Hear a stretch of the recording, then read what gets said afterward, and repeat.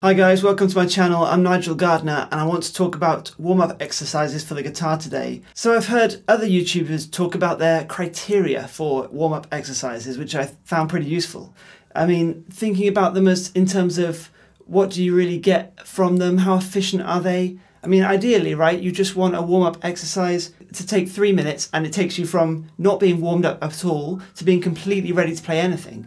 So this first exercise is the harmonized scale of chords in G. If you if you take a major scale and you just add thirds and fifths on top, you'll end up with with that. Let's do some string skipping for this first exercise.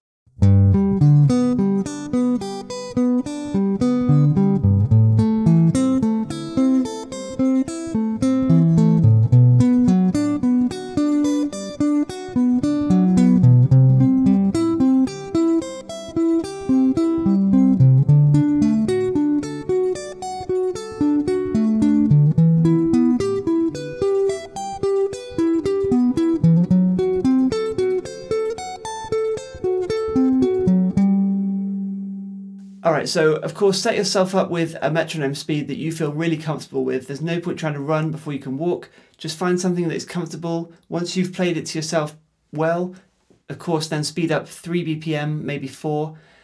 If that works, try another 3 BPM, maybe 4. You're probably not going to get much past sort of two notches up from where you began on the first day. You know, this takes a little while, but it can end up being pretty fast. And of course, another option, maybe you could try doing maybe like two notes for every, like two picks for every note.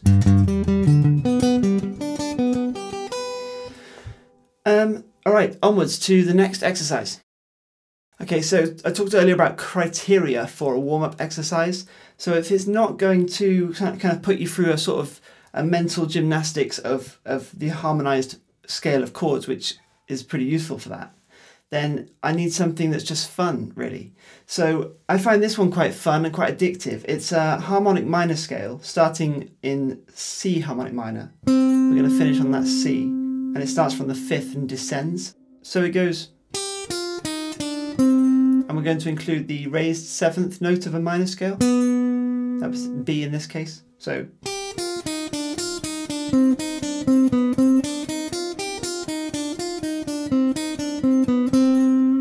Alternative picking. Let's take a look at that now properly with some tab.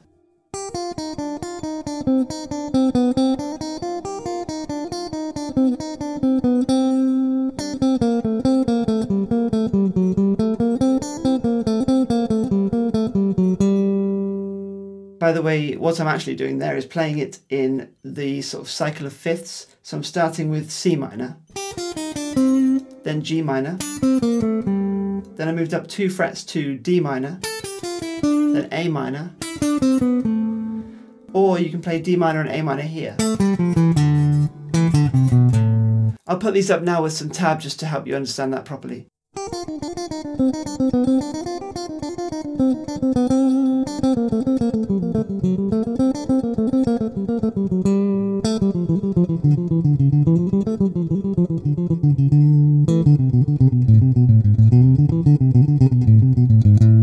So by the way, all of this tab is available on my Patreon page, the link's in the description below.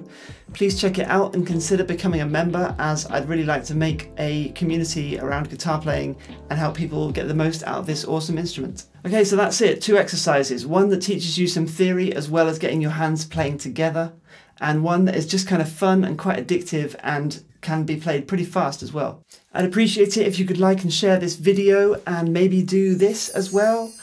Thanks so much guys, I'll see you again for another video. Until next time, bye.